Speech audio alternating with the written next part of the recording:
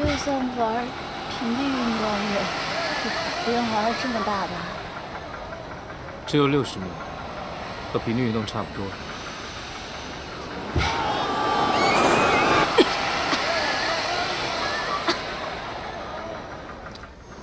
没想到你胆子那么小，走吧。玩就玩啊，谁怕谁啊！今天我就跟你玩一次。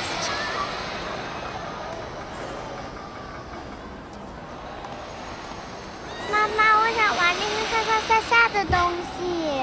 这个跳楼机啊，这个跳楼机好危险的。以前有一个小女孩扎的跟你一样漂亮的小辫子，然后她上去的时候就绞到那个机器里了。把那个头皮都扯下来了，脖子上面全是血。妈妈，我们去玩旋转木马吧。好吧。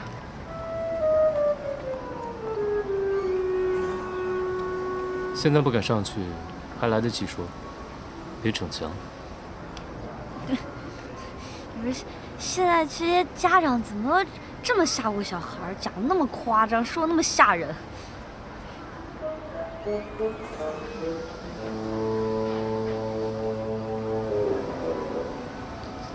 其实没没什么事儿哈。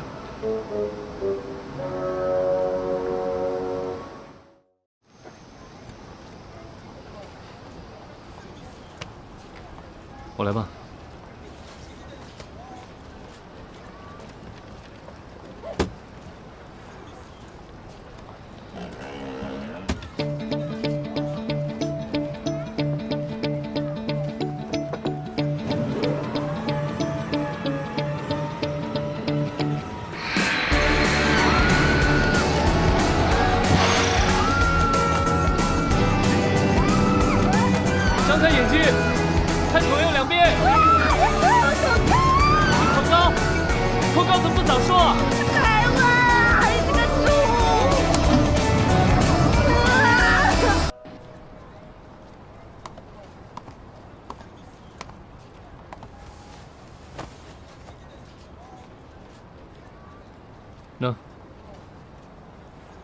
喝点热的会舒服一点。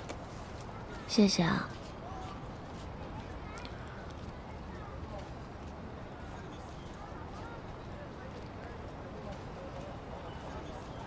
你恐高是天生的？不是啊。八岁那年的时候，学校组织登山，然后同学逗我玩，把我推了下去，还好我吊着一根藤。脚底下抵着一个凸出来的石头，才没掉下去。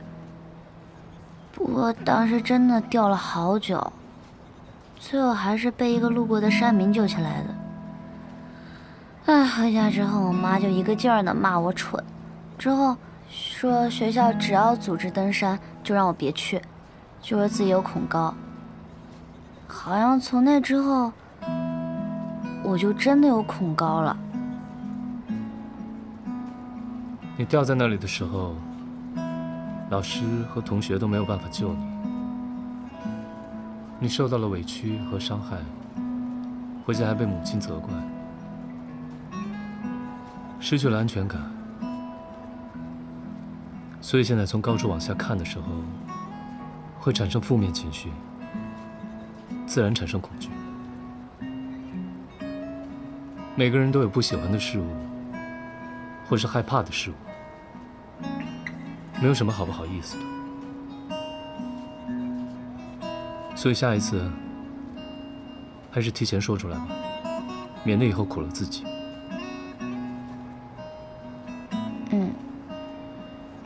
那你怕什么呀？我害怕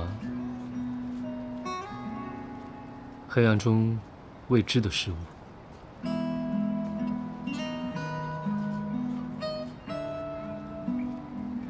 说这么文艺，不就是怕黑吗？我说的怕黑，不是那种只要在黑暗里有人陪就不会怕的。我说的害怕，就算有人陪伴着，还是会害怕。难怪家里客厅一直有灯亮着。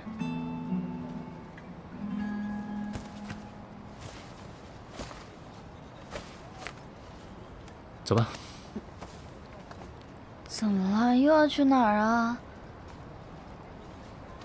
啊啊！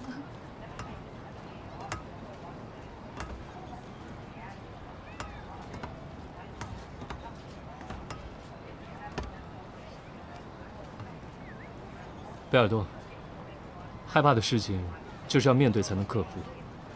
其实是你心里一直告诉自己你很害怕，或许你根本就不怕。哎哎哎，叶顺，你别走，我是真的害怕，真的。我不会让你掉下去的，相信我。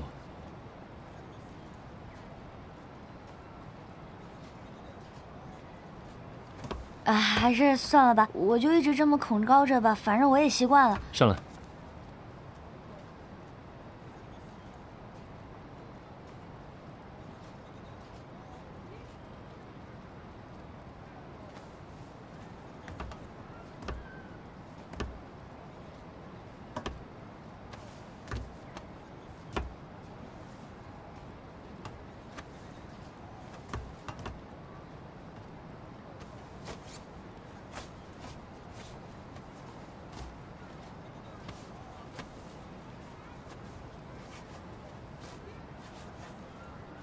这样吧，我们扯平了。